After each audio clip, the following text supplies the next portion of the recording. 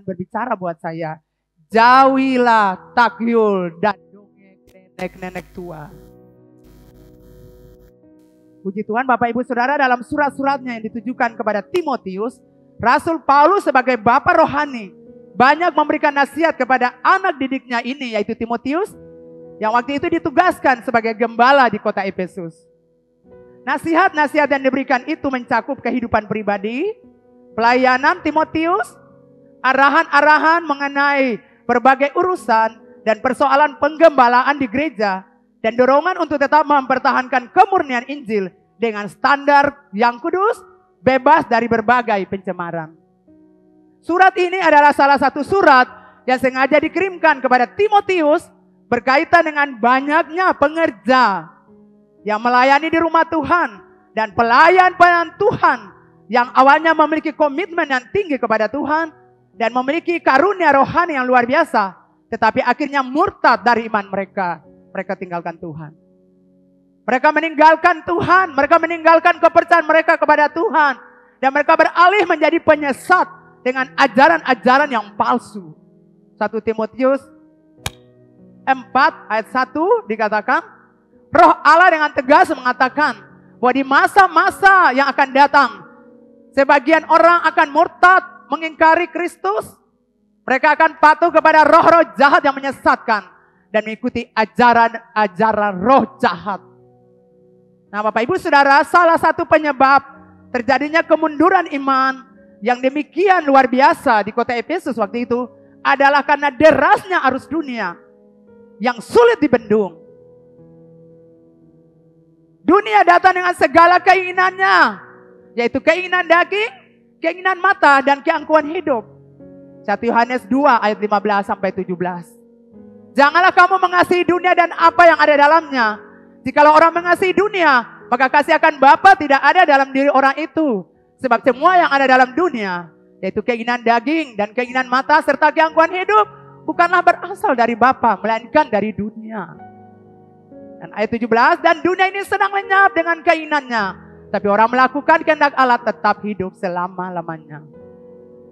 Jadi Bapak Ibu Saudara yang kekasih dalam Tuhan, dunia tidak segan-segan masuk dalam gereja Tuhan pada saat itu. Kehidupan dunia itu masuk menyerbu. Kehidupan dunia itu menyerang masuk di dalam jemaat di Efesus. Jadi Rasul Paulus sedang mendidik mereka dengan baik tentang ajaran firman Tuhan. Tapi karena kondisi situasi daripada kota Efesus, maka saudara lihat dunia di luar kota Efesus itu dibawa masuk di dalam gereja Tuhan. Dunia tidak segan-segan menyerang masuk dalam gereja dengan menawarkan segala bentuk kenikmatannya. Jadi hal-hal dunia itu masuk, dia tawarkan bagi jemaat Tuhan yang sudah dididik oleh Rasul Paulus, menyerang mereka, menawarkan hal-hal yang merupakan tadi saya bilang, keinginan daging, keinginan mata, keangkuhan hidup, itu ditawarkan bagi jemaat Tuhan. Dan keinginan daging kita semua tahu, keinginan daging Tiap hari dari mimbar ini saya selalu bilang, tabiat-tabiat hidup yang berdosa. Keinginan daging adalah perbuatan daging, yaitu tabiat-tabiat hidup kita yang berdosa. Itu dibawa masuk, padahal jemaat ini sudah dididik, sudah diatur dengan baik. Sudah di, diatur, sudah dididik, nasihati oleh Rasul Paulus. Bayangkan Rasul Paulus punya perjuangan yang begitu besar. Mendidik jemaat ini mengenal Tuhan. Hidup beribadah kepada Tuhan. Kemudian orang-orang dunia masih dalam gereja menawarkan persinahan, kenajisan, pornografi, film-film porno, film-film telanjang ditawarkan bagi jemaat ini. Jadi itulah sebabnya Rasul Paulus menulis surat ingatkan Timotius. Yang bukan saja keinginan daging, firman Tuhan tadi berkata keinginan mata. Saudara, keinginan mata dapat melahirkan segala macam dosa. Sebab hampir semua dosa itu dimulai dari mata. Hampir semua dosa yang kita buat itu saudara dimulai dari dosa. Kejadian 3 ayat 6 kita lihat contoh. Itu nyata dari perempuan yang bernama Hawa. Perempuan itu melihat bahwa buah pohon itu baik untuk dimakan. Sedap kelihatannya. Lagi pula menarik hati karena memberi pengertian. Lalu ia mengambil. Dan seterusnya. Jadi Hawa memperhatikan itu pohon. Hawa memperhatikan buahnya. Semua bermula dari mata. Ya, kita mulai berpikir bagaimana ya pohon Natal di rumah saya. Bertahun-tahun saya tidak punya pohon Natal. Suami saya bilang, ma tidak usah beli pohon Natal karena kita jadi pohon Natal dalam rumah. Wanita-wanita mulai sibukkan diri. Pergi ke mana tuh? Mall, mall. Mulai lihat kan gorden perlu diganti, HP juga perlu diganti, tas juga perlu diganti, sepatu juga perlu diganti. Boleh membeli kalau kita uang banyak dan kalau itu kebutuhan. Amin saudara. Nah ini perempuan-perempuan di kota Efesus masuk dengan gaya hidup situ di mereka di dunia masuk mempengaruhi jemaat ini dengan keinginan-keinginan mata mereka. Hati-hati saudara dengan mata kita. Wanita-wanita mulai melihat. Ya, wanita mana sih yang kaya di gereja ini? Supaya kita berikan, kita buat grup-grup sosialita. Bisa bilang Anda salah gereja. Karena di sini ekonominya apa? Menengah ke bawah. Jadi Anda cari gereja itu salah. Grup-grup sosialita di kota Efesus. Wanita-wanita kaya tidak tahu kekayaan motor di mana. Masuk dalam gereja Efesus. Ayo kita bikin grup sosialita. Kita pamerkan kekayaan kita, harta kita. Supaya orang tahu siapa kita. Dan saya mau bilang mau saudara seperti ini. Yang saudara perlukan itu Tuhan. Karena harta tidak puas puaskan jiwa kita. Uang boleh ada pada satu titik tertentu. Uang tidak bisa tolong saudara. Hanya Tuhan Allah yang ciptakan saudara dan saya yang tolong saudara. Laki-laki juga tidak mau kalah. Laki-laki Efesus masuk dalam gereja dan berkata, ayo kita lihat dulu cewek cowok keren mana ya. Kita bikin grup-grup cowok keren di gereja. Dan saya mau bilang Anda salah gereja kalau Anda masuk sini. Sebab di sini tidak banyak keren. Jadi kalau Anda masuk untuk buat grup-grup cowok keren, di sini tidak ada. Di sini tidak ada. Lalu masuk juga orang-orang pacaran. Dari kota Efesus masuk. Mereka juga tidak mau kalah. Ayo kita lihat dulu siapa-siapa di gereja ini ada pacaran. Sini-sini kita jadikan satu grup. Orang-orang pacaran. Dan saya mau bilang Anda salah. Karena di sini saya orang pacaran.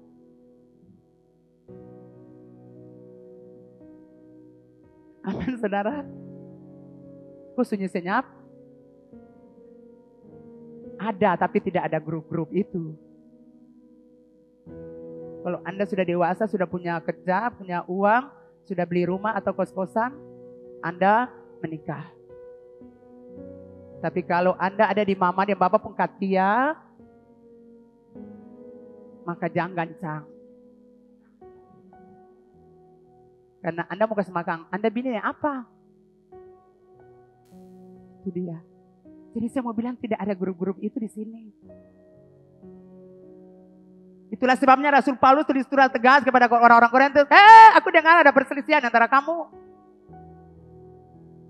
Satu dari Apolos, satu dari Paulus, satu dari Yesus Kristus.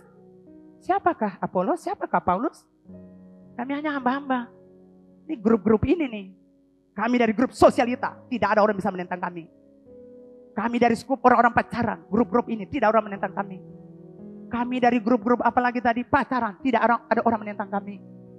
Lalu yang sisa yang saya masuk grup nih, ketemu masuk grup mana saudara? Halo? Katanya susah-susah masuk dalam grup kesusahan. Nanti kata tambah susah lagi. Tidak ada grup dalam gereja saudara. Kita semua datang sebagai umat Tuhan merindukan Tuhan. Yang ada cuma PKS, anak, remaja, youth, orang dewasa. Yang lain sih yang ada. Jadi jangan Anda bangun grup-grup di gereja ini. Anda datang butuh Tuhan. Anda perlu Tuhan. Dan Anda diberkati Tuhan. Jadi mata nih jangan lihat sebarang. Itu yang Rasul Paulus katakan. Hal-hal ini membawa perselisihan, dan akhirnya perpecahan. Saudara lihat Gehazi. Gehazi melihat barang-barang yang dibawakan oleh Naaman. Barang-barang mewah. Kok Tuhan saya bodoh sekali ya? Timbul keinginan waktu dia lihat Waduh, anting-anting ini cocok berbeta bini. Aduh, gelang ini cocok berbeta pung bini pung kaki. Aduh, gelang ini cocok berbeta bini idong. Aduh, bisa taruh di istri saya punya pusar. Aduh, bosku bodoh sekali memang. Cuma tinggal berdoa, berdoa, berdoa tentang apa-apa tentang model, tentang apa hidup apa orang bermodel, orang pastel. Jadi ya bodoh sekali. Di PBB tak ambil, PBB tak punya bini. Timbul keinginan ketika dia melihat, ingin memiliki, akhirnya dapatkan dengan cara yang salah. Dan akibatnya, kusta kenal dan dipecat dari pelayanannya. Seraya akan keinginannya menghancurkan hidupnya. Tuhan sudah bilang, jangan ambil apa pun itu di Jericho. Tapi waktu dia datang, dia lihat, wow, bagian ini sangat bagus. Ini emas-emas batangan. Aku ambil, aku sembunyikan. Mata membuat dia keinginan mata. Waktu dia lihat, dia inginkan hal itu. Dan akhirnya membawa dia kepada kebinasaan. Jadi hati-hati yang mata nih. Seralia Yudas bendahara dari pelayanan Yesus. Setiap hari pegang uang. Setiap hari mata lihat uang. Setiap hari pegang akang. Lalu waktu lihat pegang akang, hati garu-garu, lalu ingin akang. Makin lihat hati ingin. Mulai pancuri, lalu terikat yang pancuri, pancuri, pancuri. Akhirnya mati dalam dosa dan binasa. Saudara mata kita ini harus dijaga baik-baik. Anda bekerja di kantor-kantor, yang dikasih kesempatan untuk memegang uang kantor sebagai bendahara, pemimpin-pemimpin proyek, hati-hati. Karena selalu lihat apalagi Natal dekatnya, aduh kulkas rusak lah. Aduh, mesin cuci rusak lah. Kesempatan. Bos kan mengerti beta. Nah, bos-bos baginya bahaya. Tapi saya percaya di hari hidup Amon tidak ada.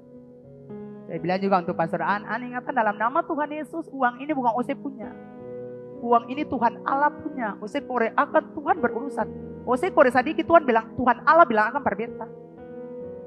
Jadi jangan coba-coba. Suami saya jujur saudara, dia diajarkan kejujuran di rumah kami.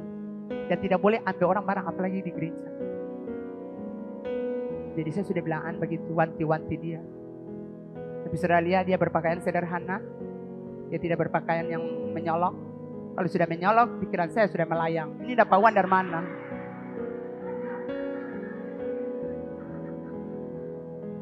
Tuh, tapi memang Tuhan angkat, Tuhan melalui Bapak ya, Tuhan angkat Pastor Dan uang yang ada di gereja ini tetap terpelihara, tetap terjaga. Setiap orang menghitung uang didoakan. Setiap kami ambil uang, kami doakan, kami taruh tangan. Dia tidak tahu pin yang saya pegang.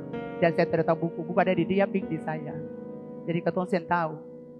Masing-masing tidak tahu. Jadi saudara kekasih, itu bukan uang saudara, itu uang Tuhan. Saudara kasih masuk di sini, jangan saudara saudara itu betapa uang tidak. Itu uang Tuhan. Saudara kasih buat Tuhan Allah di gereja ini. Dan di gereja ini ada orang yang mengatur akang.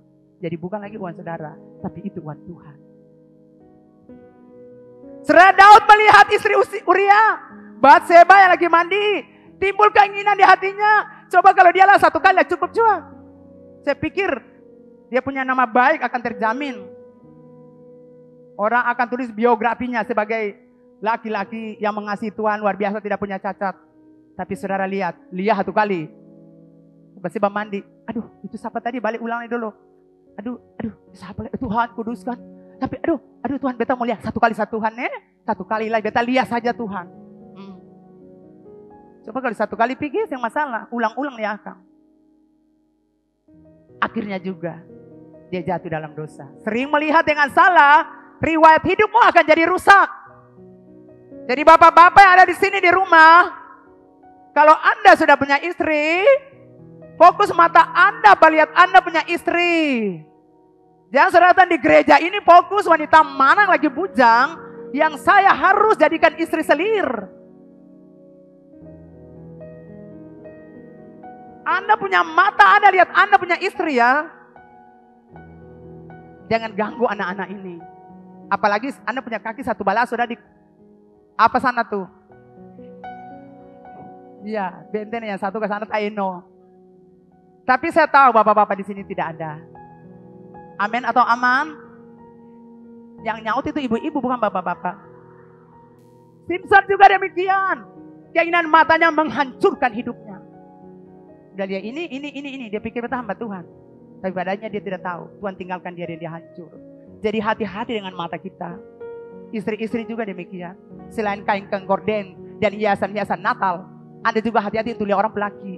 Kalau tahu orang pelaki, jangan kore dia lagi. Anda pelaki Anda tuh. Amin.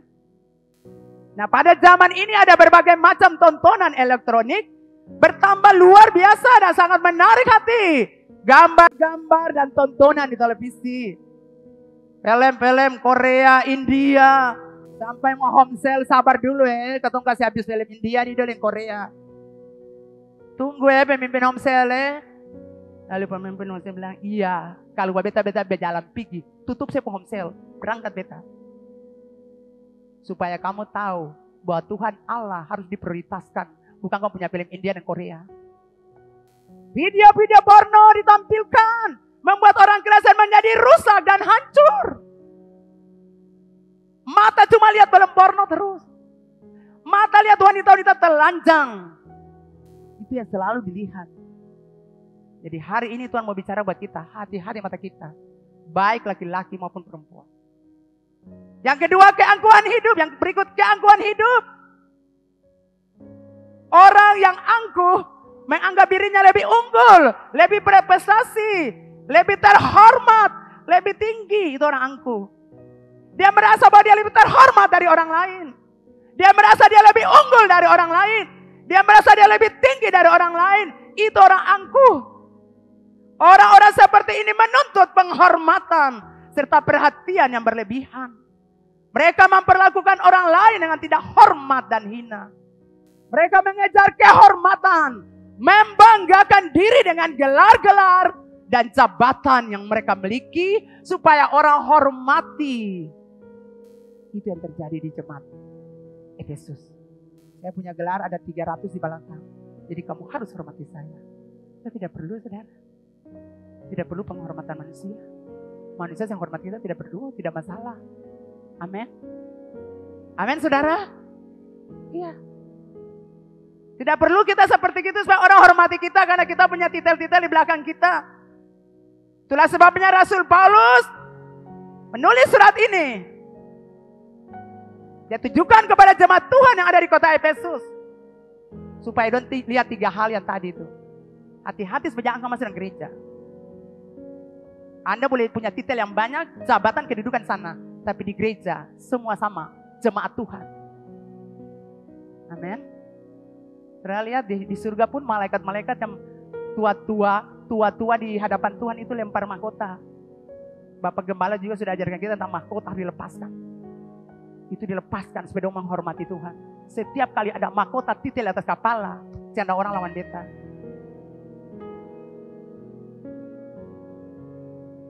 Anda boleh punya titel, tetapi Anda tetap rendah hati. Karena yang kasih Anda berhasil dan sukses itu Tuhan. Bukan Anda. Amin saudara. Supaya kita tidak tepuk dada. Kamu harus hormati saya. Kamu harus tahu siapa saya. Rasul Paulus bilang, Rasul Paulus bilang untuk Timotius, hati-hati tiga hal itu. Jaga jemaat itu baik-baik. Bapak ibu saudara, Efesus merupakan sebuah kota yang besar di wilayah Roma dengan daya tarik dunia yang sangat luar biasa. Itu kota Efesus dulu. Jadi Efesus ini merupakan sebuah kota yang besar di wilayah Roma dengan daya tarik dunia yang sangat luar biasa. Kota perdagangan yang dipenuhi dengan kuil-kuil penyembahan baik kepada kaisar maupun juga kepada Dewi Artemis yang juga syarat dengan berbagai hiburan penuh kebejatan.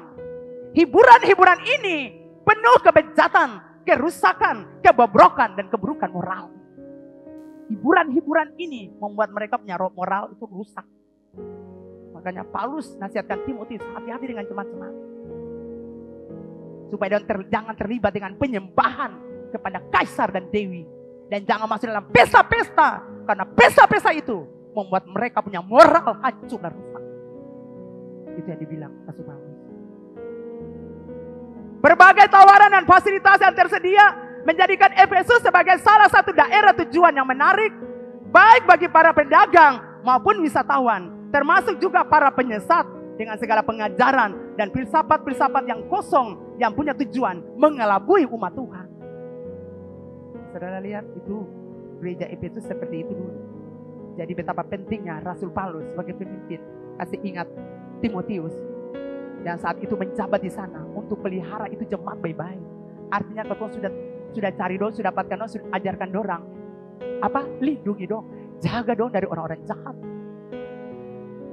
Untuk mengantisipasi hal-hal yang tidak di, diharapkan, diinginkan, melalui suratnya ini Rasul Paulus menasihatkan agar umat Tuhan sungguh-sungguh melatih diri beribadah. Dia bilang, latihlah dirimu beribadah. Karena ini sangat penting. Setiap kita gereja Tuhan sedang diperhadapkan dengan kenyataan yang terjadi di dunia saat ini, setiap kita gereja Tuhan menghadapi hal ini. Penyesat masuk untuk menghancurkan gereja Tuhan. Tapi saya percaya di sini tidak ada. Amin saudara. Karena roh kudus bergerak di tempat ini.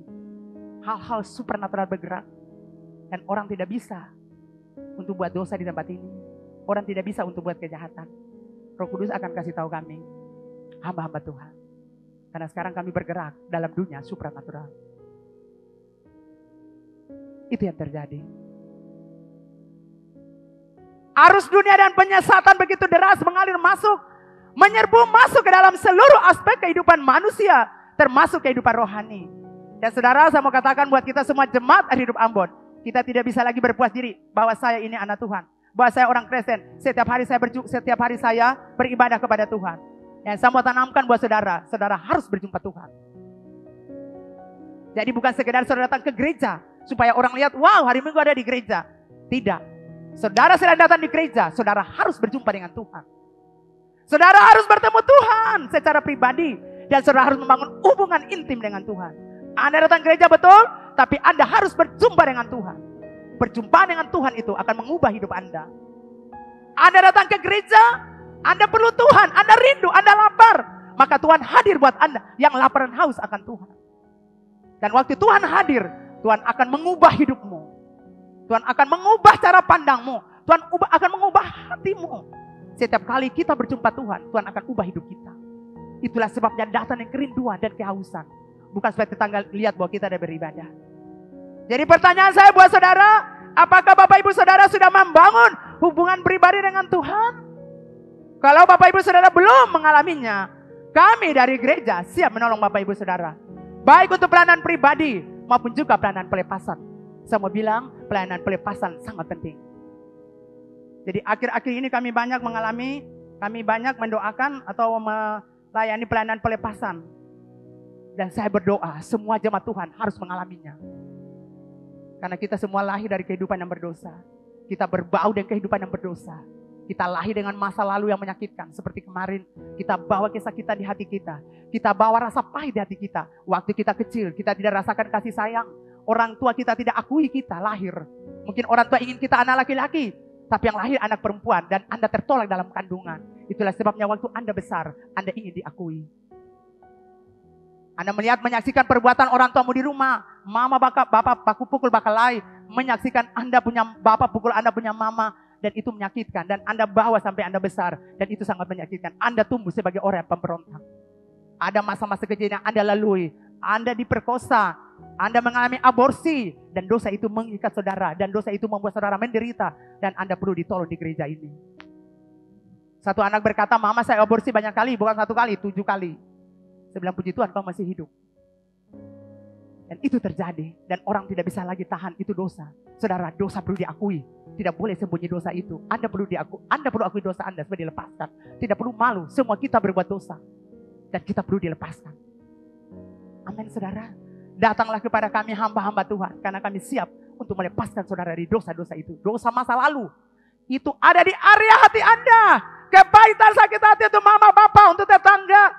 Untuk orang-orang yang dekat Anda. Itu perlu Anda lepaskan, perlu bebaskan. Anda bertumbuh di dalam kepahitan dari masa kecil. Membuat Anda bertumbuh jadi pemberontak. Anda menghabiskan waktu night club. Anda menghabiskan waktu diskotik. Anda menghabiskan waktu yang minuman keras. Anda menghabiskan waktu yang kemabukan pesta pora. Karena Anda mau orang akui Anda. Anda mau orang mengasihi Anda. Tapi saya mau bilang itu cara yang salah. Anda perlu ke gereja. Anda perlu dilepaskan. Kalau Anda rasa hati Anda tidak nyaman, datang di sini. Karena kami akan lepaskan. Kemarin saya ada pastoran hari Rabu itu sampai saya pulang malam itu jam 11 ya, hampir rumah. Itu hanya berapa orang, empat atau lima orang yang kami layani, pelepasan. Saya bilang itu ruang anak di bawah tuh. Satu bapak waktu dilepaskan dari tradisi adat istiadat, saudara tahu. Dia mengamun, saya bilang buat hamba Tuhan kemarin, mengkali dengar di bapak Ucu Romer rumah. Dia pegang tombak, dia pegang panah-panah, dan suaranya itu seperti orang peperangan. Tapi waktu kami berdua semua sudah dibukakan bagi kami. Jangan takut. Dan saya mau bilang kalau Anda masuk, kami mau doakan Anda untuk melakukan pelepasan, Anda harus akui. Walaupun Anda tidak mau, itu yang membuat Anda tidak bisa terlepas. Memang Tuhan akan buka kami apa yang ada yang pernah terjadi dalam hidup Anda. Tapi Anda juga harus akui. Saya berdoa dengan seseorang, saya bilang kenapa sih orang ini sih doa tapi ada apa sih Tuhan buka. Saya lihat peti mati itu berjalan. Saya bilang Tuhan ini apa sih? Ini ada tradisi saya lepaskan dia. Selesai saya bilang, kamu sebenarnya ada apa? Coba ngomong. Sebenarnya kamu simpan apa di hati? Dan saudara tahu dia bilang apa? Mama saya mati dan nenek saya suruh bawa makanan setiap saat di mama kuburan. Kalau orang sakit hati kami, saya bawa kuburan. Dan saya bilang, mama orang ini sakit hati kami. Orang ini membuat kami. Dan jadi tunggu saja tiga hari mati kah, lima hari mati kah. Dan kalau Anda di situ, saya mau bilang Anda perlu pelayanan pelepasan. Kalau tidak Anda ada di gereja supranatural, tapi Anda tidak mengalami hadirat Tuhan. Saya diberkati. Saya rindu saudara diberkati. Saya rindu ekonomi saudara diubahkan. Serindu anak orang-orang diberkati. Dari mana saya jalan, saya ditemui seorang bapak di gereja ini. Saya melihat dia, hati saya sedih. Karena mereka mereka ekonominya di bawah. Saya cuma lihat ada beberapa uang di dalam itu, dompet saya. Itu uang persembahan saya selalu siapkan di yang bersih. Jadi saya berkati bapak itu. Tuhan Tuhan rubah hidup status sosial mereka supaya mereka tidak jadi orang hina, tidak jadi orang miskin. Saya selalu berdoa supaya jemaat ini yang ke bawah itu, ekonominya di bawah itu dirubah. Anda layak untuk hidup diberkati. Anda layak untuk menerima berkat-berkat Tuhan. Anda layak untuk hidup menikmati yang baik dari Tuhan. Sebab itu kalau Anda terikat dengan roh jahat, ada di sana terisi, Anda perlu dilepaskan. Ketika Anda dilepaskan, baru Anda lihat mujizat Tuhan. Kalau pas makam mama dan bapak di kuburan-kuburan yang kue-kue Anda perlu dilepaskan. Menangis di kuburan-kuburan Anda perlu dilepaskan. Kalau saudara marah saya, saudara pergi di kuburan, saudara punya keluarga. Opa, tolong dulu mama ini hotbah-hotbah beta di gereja. Beta saya mati, saudara mati. Karena orang kampung selalu begitu saudara. Pokoknya masalah tapi lapor di kuburan. Masalah lapor di kuburan. Makanya dong pemuka sama kuburan. Sedih terus, susah terus. Nah Bapak Ibu saudara yang dikasih Tuhan, Rasul Paulus memberikan dua peringatan keras bagi umat Tuhan. Di dalam 1 Timotius 4 ayat 7 tadi kita lihat, yang pertama jauhilah takyul dan dongeng nenek-nenek tua. Yang pertama. Dan yang kedua latihlah dirimu beribadah. Ini peringatan keras bagi umat Tuhan yang ada di sana, jemaat Tuhan yang ada di Efesus.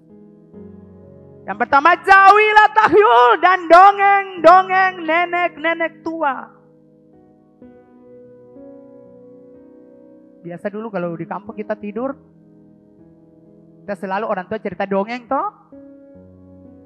Ada yang pernah begitu? Kalau masa ini tidak dongeng lagi, mungkin ada tapi sedikit. Tapi biasa dulu, kalau kau mau tidur, bapak atau mama cerita dongeng. Betul, Bapak Rin pernah cerita dongeng ke saya? Ah, Bapak Rin. Ibu Dina Dongeng apa? Kias dan teteruga. Bapak Ibu Saudara, kata takyul dalam ayat ini adalah kata Yunani. Kata Yunani artinya babolos. Yang artinya cerita-cerita yang sama sekali tidak suci. Cerita-cerita yang tercemar. Omongan-omongan atau pembicaraan yang kosong. Itu takyul. Semua tahu takyul ya? Kok ada yang tidak tahu? Takyul. Coba semua bilang takyul. Ya. Jadi itu cerita-cerita yang sebenar. Itu omong kosong saja. 1 Timotius 6 ayat 20 berkata, Hai Timotius, peliharalah apa yang telah dipercayakan kepadamu. Hindari omongan kosong yang tidak suci. Pertentangan-pertentangan yang berasal dari apa yang disebut pengetahuan. Jadi itu omong kosong saja. Bahkan di 2 Timotius 2 ayat 16, tetapi hindarilah omong kosong yang tak suci yang hanya menambah kepasikan. Jadi itu cuma omong kosong. Itu takyul cuma omong kosong. Tahyul adalah suatu kepercayaan yang tidak berdasarkan akal sehat dan kebenaran. Kepercayaan kepada sesuatu yang dianggap ada atau sakti, tapi sebenarnya tidak demikian. Seperti tadi saya bilang, pergi di kuburan, menangis mama pulang untuk ramas tetangga di sebelah. Karena ambil saudara punya tanah sejengkal. Saudara lapor di sana atau saudara lapor saudara punya adik. Ambil bapak pun tanah warisan yang bagian dan beta. Lalu bawa persembahan-persembahan. Lalu berpikir bahwa ada kekuatan dalam kuburan. Saya mau bilang tidak ada kekuatan lagi di situ. Kalau orang sudah mati, dia sudah pergi. Roh ini sudah diangkat pergi. Seperti gembala kita. Rohnya sudah dibawa pergi. Dimuliakan di hadirat kekudusan Bapa. Yang ada tubuh itu nanti kembali ke tanah. Jadi itu tidak punya hubungan lagi. Jangan pergi di kuburan karena tidak punya kekuatan. Itu tidak sakti. Itu tidak benar. Sumber kepercayaan ini bisa berasal dari ajaran turun-temurun petua nenek moyang atau leluhur, adat istiadat setempat, atau langsung dari roh-roh jahat. Betul saya ingat di kampung kami juga, kalau Desember tiba 24 sore itu siang, tetangga kami sudah pergi bawa itu cari bunga-bunga satu hari, cari bawa di baki, hidup di mana? Kuburan. Mulia Bapak dulu. Lalu saya bilang, kenapa kita pun Bapak nih? Saya bilang, tapi kuburan. Pergi nenek ke teteh. Tapi saya akhirnya selesai tinggal yang mama dan bapak tidak ada namanya hubungan dengan kuburan. Saya harap jemaat Tuhan tidak boleh percaya hal demikian. So, kalau mau susun khotbah jam jam 3 atau jam 4 saya bangun lalu bergerak sana. Saya bilang, heh saya taruh jas kau dengarnya. Beta lagi sudah di hadirat kekudusan Bapak sudah dimuliakan. Oh si setan berangkat beta berumah. Jadi saya mulai bergerak di sini. Karena roh kudus ada bergerak di sini. Mesti berangkat. Saudara kalau saya begitu mulai duduk menangis, si Osu Natal dekat nih, ayo, ayo bagaimana, siapa mau masa puyung hai, siapa mau masa lagi Tuhan nih, susah ada lah. Tidak boleh saudara. Saudara tidak boleh biarkan hati saudara hanyut dengan perkataan-perkataan orang tua yang seperti itu. Tidak punya kekuatan, tidak ada lagi saudara. Itu ajaran turun temurun saja. Ya, itu tahyul seperti begini. Kalau janji pulang kampung harus pulang. Kalau saya pulang mati. Betul? Oh apalagi dia ketong kampung saudara. Pulang salah yang pulang mati. Jadi harus cepat pulang. Uang ada, saya uang ada. Lari kantor sama juga. Harus pulang janji, tepati janji itu. Lalu saudara janji Tuhan, perintah Tuhan untuk katong, katong saya bikin. Tapi perintah negeri kampung itu katong lari pulang karena takut mati. Ya, saya percaya saudara juga begitu toh. Kalau saya pulang, su janji toh, ya sebulan di kampung. Kita mau pulang di Nalahia dulu. Lalu tiba-tiba saya jadi. Saudara mulai ketakutan, Tuhan betani pasti mati maka lari pulang. Saya tidak seperti itu saudara. Tidak. Itu iblis menyesatkan saudara. Iblis membawa ketakutan buat saudara. Itu tidak alkitabiah saudara. Tidak boleh beri jarum, minyak tanah waktu malam. Takyul membuat ketua yang membelas kasihan buat orang. Karena ketua percaya akan jadi perketua. Jangan sapu rumput malam-malam. Saya punya suami segala hari sapu rumput malam. Sungguh mati karena antum orang bersih. Antum sih bisa berjalan ada sampah atau rasa kakinya itu seperti pasir. Setiap saat antum sapu begitu. Antum harus sapu. Satu oma bilang, Om John sapu rumput malam-malam Om John. Nanti akan begini. Sapu saja oma rumah kotor.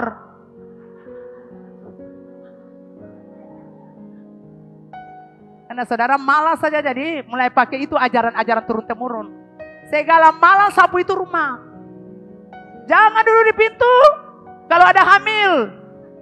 Nah, taruh paneti di sini. Jarong-jarong. Apalagi gunting-gunting. Kalau ada hamil. Kalau ada hamil jangan pakai handuk di sini. Nanti bayi tablet apa segala macam.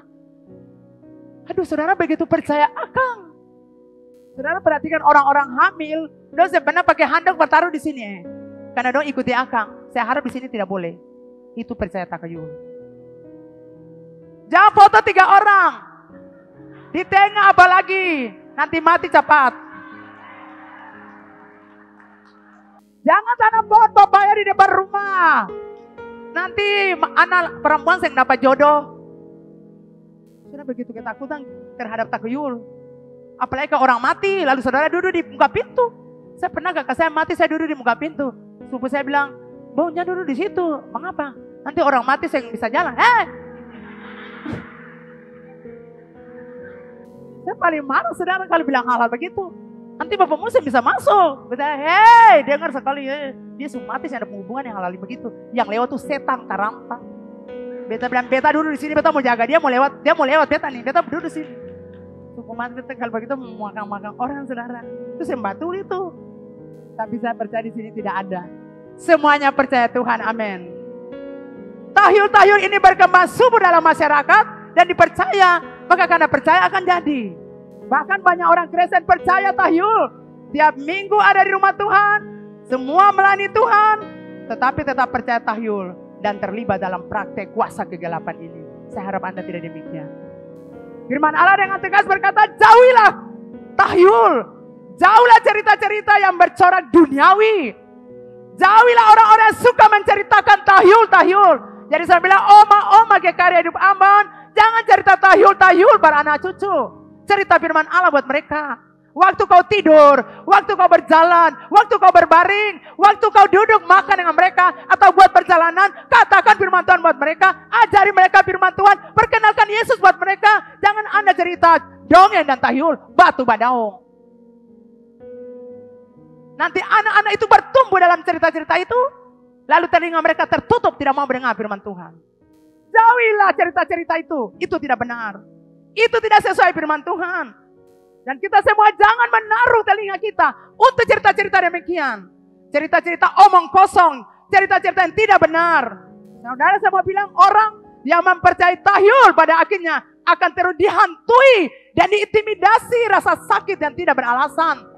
Orang itu akan takut mati, takut sial, takut rezekinya hilang. Karena dia, dia dihantui oleh cerita tahyul itu. Ketakutan yang disebabkannya, ketakutan yang disebabkan karena mempercayai tahyul adalah pertanda bahwa Anda sedang masuk dalam perangkap jebakan iblis yang adalah bapa segala pendusta. Kalau Anda sedang masuk dalam jebakan ini, saudara tahyul ini, saya bilang Anda perlu dilepaskan. Anda perlu dibebaskan. Kalau tidak, iblis akan tuduh Anda. Kamu belum pulang kampung, nanti kamu mati. Kamu belum pulang kampung, nanti kamu mati. Kamu harus berusaha keras bagaimana pulang kampung ya. Kalau kampungnya KTK yang masalah.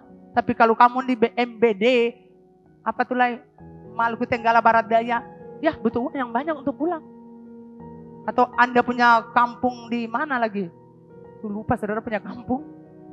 Itu buat bawa uang yang banyak. Jadi karena ketakutan, suara-suara itu. Jadi Anda jadi ketakutan. Orang Kristen yang masih percaya tahyul, sama artinya berkompromi, berkompromi dengan kuasa kegelapan jadi kalau Anda masih percaya, Anda sementara berurusan dengan roh, -roh jahat. Anda percaya tahyul, Anda sementara dijajah oleh roh jahat. Karena tahyul itu akan intimidasi Anda. Dia akan menjajah Anda, membawa ketakutan. Sehingga Anda merasa hidup Anda tidak akan pernah diberkati. Serah Tuhan janjikan hidup kita diberkati. Percaya tahyul daripada percaya Tuhan. Dan ini adalah persinahan secara rohani. Dan Tuhan benci perbuatan seperti ini.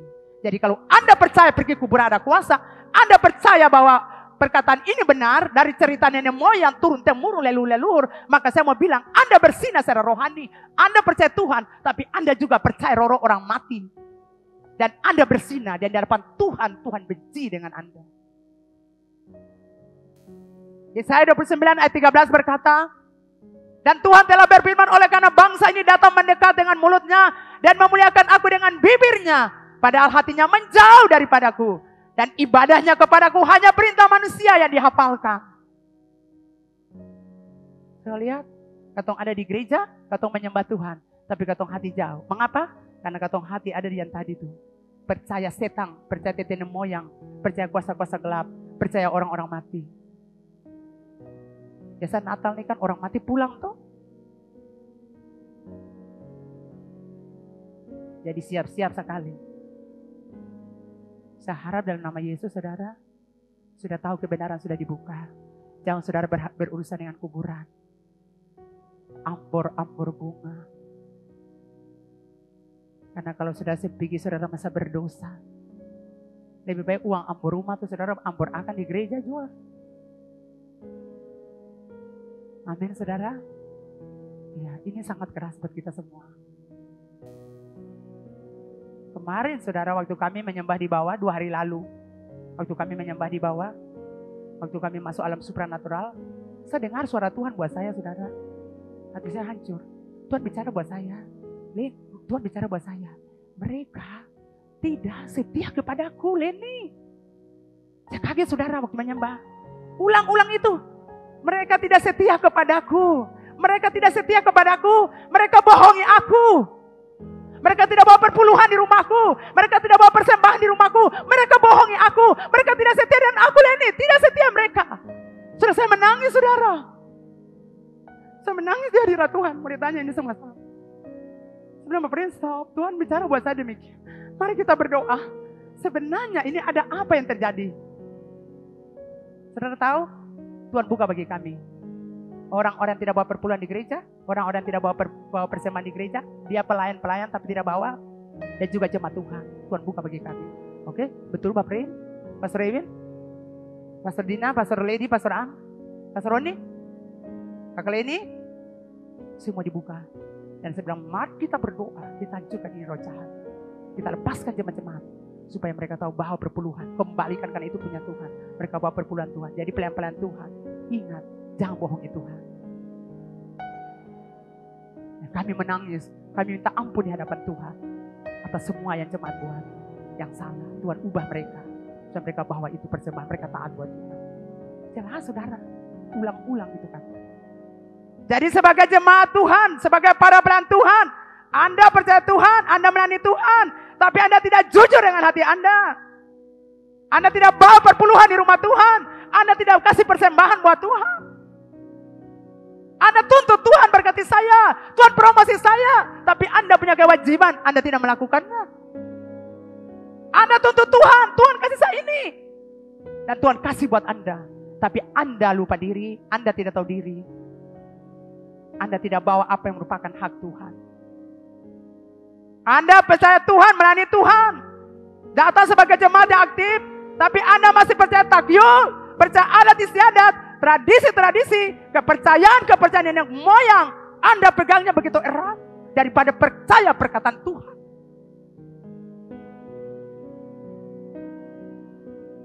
Dan saudara kepercayaan ini akan menghancurkan Anda. Sebab itu jauhilah segala hal yang berhubungan dengan tahyul, kuasa kegelapan. Dan percayalah hanya kepada Tuhan Allah yang kita sembah di dalam nama Tuhan Yesus. Jangan ada suam-suam kuku saudara. Jangan dingin atau panas. Jangan percaya orang mati, tahyul, tahyul, dongeng. Lalu Anda percaya Tuhan. Tuhan bilang aku tidak suka kamu. Aku muntah kamu. Lebih baik kamu panas atau kamu dingin. Jangan suam-suam kuku. Jangan aku kamu percaya setan roh jahat kekuatan roh-roh jahat. Lalu kamu percaya aku, aku muntahkan kamu. Jadi lebih baik kamu panas atau kamu dingin. Lebih baik kamu bertobat sungguh-sungguh atau tidak bertobat. Jangan Anda bertobat, tapi Anda tetap menjalankan praktek-praktek kegelapan roh-roh jahat. Kalau Anda sakit datang di gereja ini, supernatural berlangsung untuk Anda. Anda punya iman, kami doakan Anda pasti sembuh. Jangan Anda cari dukun mana di kota ini yang terkenal untuk Anda pergi di pedukunan. Saya mau bilang buat Anda, Anda akan menderita. Anda boleh sampai tempat itu, dia sumber Anda, Anda sembuh. Tapi Anda kembali, Anda akan mengalami penderitaan yang hebat. Dan kalau Anda tidak cepat ditolong, nasibmu akan hancur. Ini keras buat kita semua, saudara. Supaya kita nomor duakan Tuhan. Supaya kita percaya Tuhan, tapi ada di sana kita percaya. Kita percaya Tuhan, tapi tradisi kita pegang erat. Kalau kita percaya Tuhan, percaya Tuhan. Kalau kita hidup berdosa, Tuhan marah saudara. Tapi Tuhan mengasihi kita, dia mengampuni kita. Tapi jangan kau biarkan iblis untuk menguasai hidupmu, kau akan menderita. Jadi jangan suam-suam kuku, Tuhan muntahkan engkau. Sudah diberkati? Ya, dongeng-dongeng. Berikut. Jangan dengar dongeng-dongeng nenek tua. Dongeng itu merupakan bentuk cerita tradisional yang disampaikan secara turun-temurun. Dongeng termasuk ke dalam ke dalam karya sastra lama yang berbentuk lisan dari orang ke orang menyampaikannya dan ada juga yang membukukannya sebagai sebuah tulisan. Jadi cerita dongeng itu biasanya mengisahkan kejadian fiksi atau kayalan. Seperti Kes dan Totoruga itu dongeng. Itu dunia sekarang begitu saudara. Kita lebih suka dengan dongeng daripada firman Tuhan. Kita lihat 2 Timotius 4 ayat 3. Karena akan datang waktu orang tidak lagi menerima ajaran sehat, itulah firman Tuhan. Mereka akan mengumpulkan guru-guru menurut kehendaknya untuk memuaskan keinginan telinga mereka. Jadi mereka akan memalingkan telinga dari kebenaran dan membukanya bagi dongeng. Betul saudara? Kalau firman Tuhan sudah keras, mereka cari orang-orang bisa berbicara untuk menyenangkan pendengar mereka dan hati mereka. Mereka tidak suka dengan firman Tuhan yang keras. Mereka suka dongeng. Mereka suka dengar takayul. Itu yang paling mereka sukai. Kita lihat 2 Timotius 3 ayat 16. Segala tulisan yang diilhamkan Allah memang bermanfaat untuk mengajar, untuk menyatakan kesalahan, memperbaiki kelakuan dan mendidik orang dalam kebenaran. Jadi itu firman Tuhan punya tujuan. Didik kita, ajar kita, didik kita untuk hidup dalam kebenaran supaya hidup kita diberkati. Saudara, kadang kita suka, tidak suka dengan akang firman. Kita lebih suka dengan dongeng. Kita lebih suka mendengar cerita-cerita menenangkan hati kita. Kita lebih suka begitu. Tapi sama bilang, saudara, mari kita lihat Ibrani 4 ayat 12. Sebab firman Allah hidup dan kuat. Dan lebih tajam daripada pedang bermata dua mana pun. Ia menusuk amat dalam sampai memisahkan jiwa dan roh. Sendi-sendi dan sum-sum. Ia sanggup membedakan pertimbangan dan pikiran hati kita. Itu firman Tuhan. Makanya kalau firman Tuhan datang, kadang kita tertusuk Kadang hati kita sakit seperti palu yang menghantam bukit batu. Itulah firman Tuhan. Firman itu hanguskan kita. Jadi kalau firman Tuhan datang, goncang hati kita, tusuk hati kita, yang perlu kita buat, bertobatlah. Jangan saudara cari yang sana tadi itu, dongeng. Cerita-cerita yang menghibur saudara. Cari orang-orang yang berbicara supaya saudara hati senang. Cari firman Tuhan. Firman itu tegur saudara, didik saudara. Supaya saudara hidup dalam kebenaran. Dan ketika saudara hidup dalam kebenaran, saudara diberkati oleh Tuhan. Amin saudara. Ya. Akan datang waktunya orang tidak terima ajaran sehat lagi. Sebab itu ini waktu kita beritakan Injil. Ini waktu kita penginjilan. Ini waktu kita bersaksi. Supaya orang-orang mengenal siapa Tuhan. Akan datang waktunya orang tidak akan mendengar ini firman. Karena begitu keras. Orang akan cari dongeng-dongeng. Orang akan cari pengajaran-pengajaran yang menyenangkan hati mereka. Mereka akan dengar khotbah-khotbah yang menyukakan hati mereka. Mereka akan cari khotbah-khotbah yang menyenangkan hati mereka. Mereka akan cari khotbah-khotbah yang mendukung mereka dalam kejahatan. Itu akan datang waktunya. Dan ini sudah waktunya. Sebab itu mari saudara kita bergerak, kita penginjilan, kita buat jiwa-jiwa buat Tuhan. Perkenalkan Yesus buat mereka dan katakan ada janji Tuhan. Janji ini menghiburkan kita, menguatkan kita. Dan janji Tuhan itu akan pasti tergenapi. Katakan buat mereka seperti itu. Karena ada waktunya mereka tidak akan mendengar lagi firman Tuhan. Jadi mari kita semua beritakan Injil. Eh, selama ini berapa bulan lebih ini kami semua staf pastoral di gereja melakukan penginjilan. Setelah kami berdoa dalam alam supernatural, Tuhan memberikan banyak hal-hal supernatural. Ada nubuatan, ada penglihatan, ada rema dari Tuhan dan banyak hal Tuhan kerjakan. Dan sebelum kami pergi kami berdoa. Ada yang bernubuat, pergi ke sini, sini, sini. Tapi kadang-kadang Tuhan juga kasih di dalam penglihatan kami. Kamu pergi ke sini, kamu pergi ke sini. Karena ada jiwa yang menanti. Dan itu terjadi saudara. Ketika hamba-hamba Tuhan ini berjalan dalam tuntunan roh kudus, mereka bertemu dengan orang-orang yang membutuhkan Tuhan. Ini kesaksian mereka, bisa sebentar dilihat. Puji Tuhan, Shalom. Hari ini saya ingin membagikan sebuah kesaksian yang sangat luar biasa. Apa yang hari-hari ini sementara Tuhan kerjakan dalam gereja kami. Nah tepatnya tanggal 14 Oktober itu saya dihubungi oleh seorang ibu uh, lewat WA, tapi karena saya tidak mengenal ibu ini, saya hanya say hi ke beliau tanpa menanyakan apa kabarnya dan lain-lain. Uh, singkat cerita, dalam sebuah momen kami doa pagi itu tanggal 20 November. Dalam penyembahan kami, saya disampaikan sebuah nubuatan oleh Ibu Gembala dan saya yakin benar bahwa itu dari Tuhan.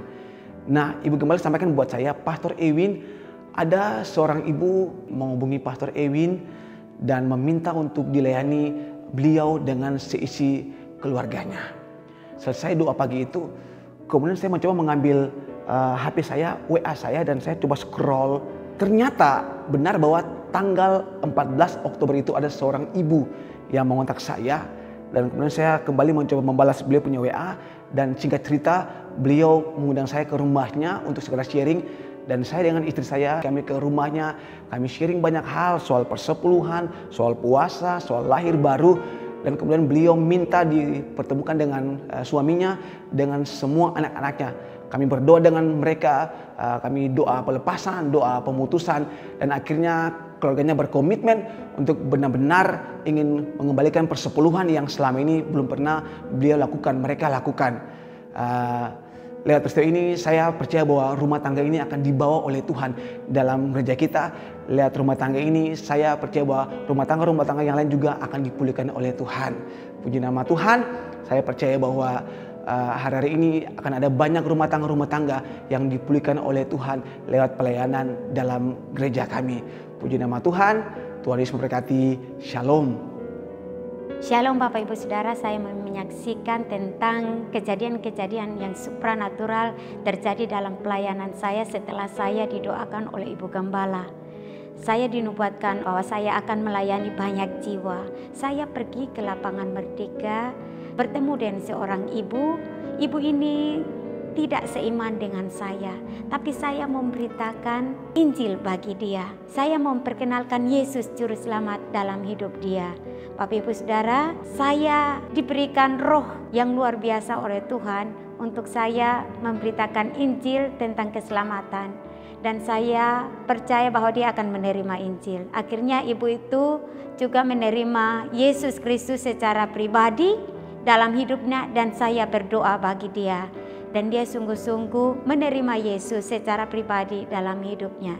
Kejadian yang kedua yaitu Tuhan luar biasa Bapak Ibu Saudara, Mama bernubuat bagi saya, saya akan melayani banyak anak. Tuhan membawa saya ke Halong dan di sana saya dipertemukan dengan satu keluarga di sana kami melayani banyak anak Bapak Ibu Saudara dan kami menjangkau mereka melalui belajar dan saya percaya anak-anak ini akan ada di Gekari Air Hidup Ambon.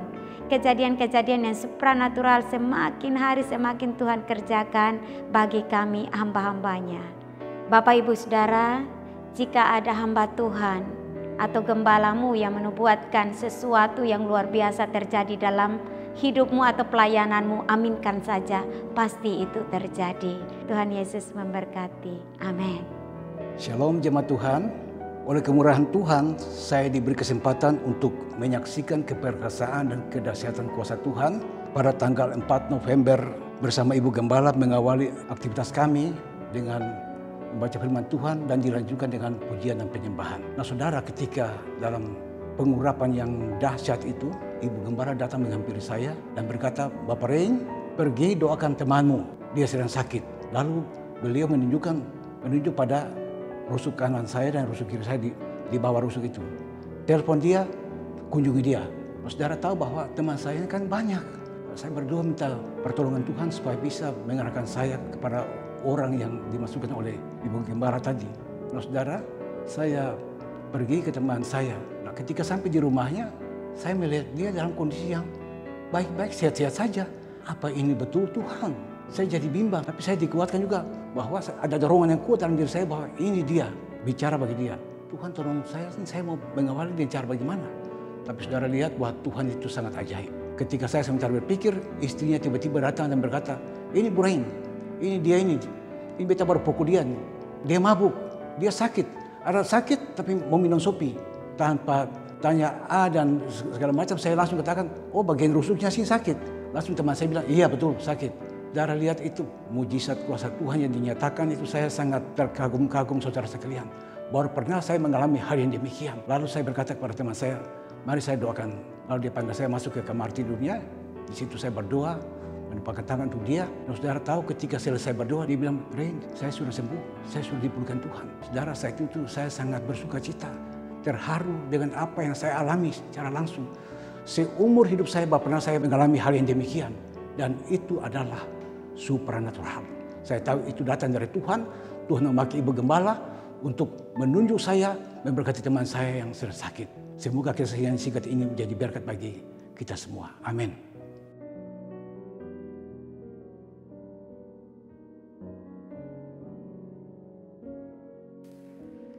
Itu supernatural yang terjadi dan saya percaya saudara akan mengalaminya juga. Karena kita semua dipakai, dipersiapkan, kita sudah terima hujan awalan akhir untuk bergerak di kota ini, membawa jiwa-jiwa buat Tuhan. Saudara lihat kelihatannya baik, tetapi dia sakit. Kita kadang-kadang, aduh orang ini baik, apa yang mau dibilang? Tetapi Tuhan tahu bahwa orang ini lagi bermasalah. Dan Tuhan siapkan kita untuk menolong mereka. Bapak Ibu Saudara yang kedua, Latihlah dirimu beribadah sudah hampir.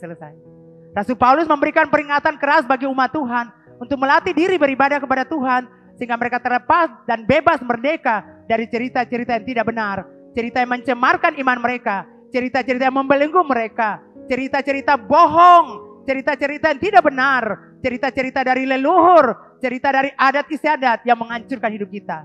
Anda akan bingung, stres, tertekan, kecewa. Dan Anda pergi dari Tuhan ketika Anda terikat dengan cerita-cerita demikian. Sebab itu, hari ini kita diberi pelajaran penting supaya kita menjauhkan diri. Kita melatih diri kita supaya kita terhindar daripada pengajaran-pengajaran. Dongeng-dongeng nenek tua dan tahyul. Yang pertama saudara, latihlah dirimu dalam membaca firman Tuhan.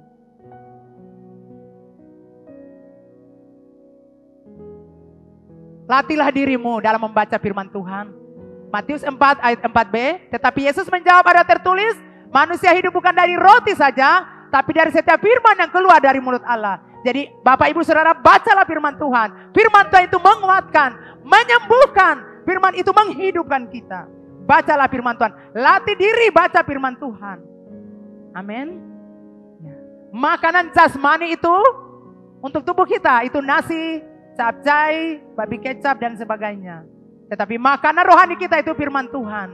Terbiasalah latih diri untuk baca firman, makan firman. Supaya engkau terhindar dari kebobrokan dunia, ketidakjujuran, ketidaksetiaan, pikiran-pikiran kotor, dan segala perilaku jahat lainnya. Baca firman Tuhan, firman itu akan mengubah hidup kita. Baca firman Tuhan anak muda, supaya kau pintar, kau cerdas. Semakin kau baca firman Tuhan, saraf-saraf yang ada di otakmu ini, otak kiri kananmu akan diubah, akan dipulihkan sehingga engkau menjadi pintar, pandai, cerdas.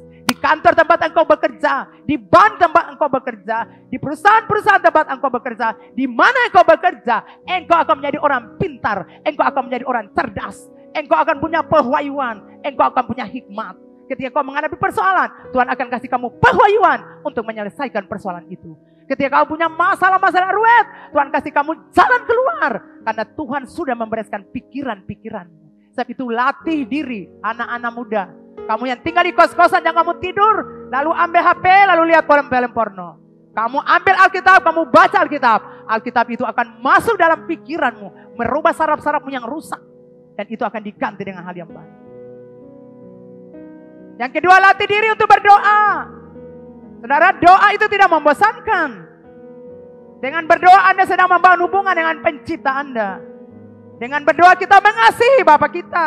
Ketika kita berdoa kita jalin hubungan. Jadi mari kita latih diri berdoa. Bapak-bapak.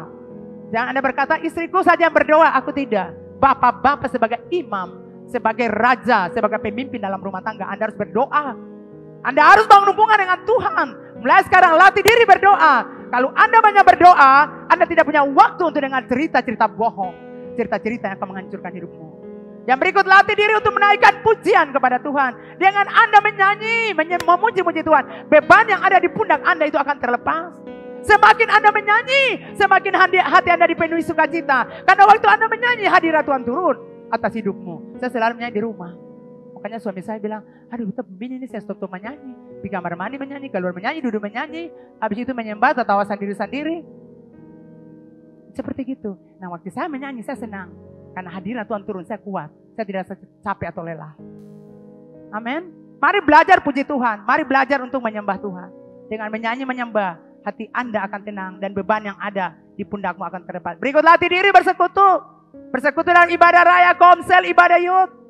Itu tempat di mana kita saling melengkapi. Seperti tubuh yang terdiri berbagai anggota. Kita juga akan saling menolong, saling menguatkan. Tubuh yang terdiri dari berbagai anggota yang memiliki fungsi dan karunia yang berbeda. Seperti jangan tinggalkan komsel. Kita belajar komsel. Nanti tahun depan kita sudah buka komsel lagi. Latih diri untuk berbuat baik. Galatia 6 ayat 9 10. Janganlah kita jemu-jemu berbuat baik. Karena apabila sudah datang waktunya, kita akan menuai. Jika kita, jika kita tidak menjadi lemah. Jadi saudara latih diri berbuat baik. Kalau selama ini Anda skakar, skakar pun tombak, kikir, bila memberi, memberi, memberi, tapi saudara otak begitu tegar, tengkuk begitu. Saudara sudah batasi seng, betul cuma berpuluhan di gereja. Cuma itu. Maka saya mau bilang buat Anda, latih diri kasih per orang. Latih diri untuk memberi per orang. Firman Tuhan bilang terutama saudara seiman di gereja ini. Dia orang susah, tolong dong. Amin. Lihat dia semua apa-apa kasih dong. Latih diri untuk berbuat baik. Akan datang waktunya.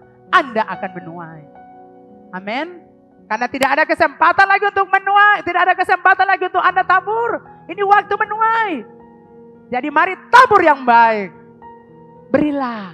Tolonglah orang-orang yang susah. Bantu mereka.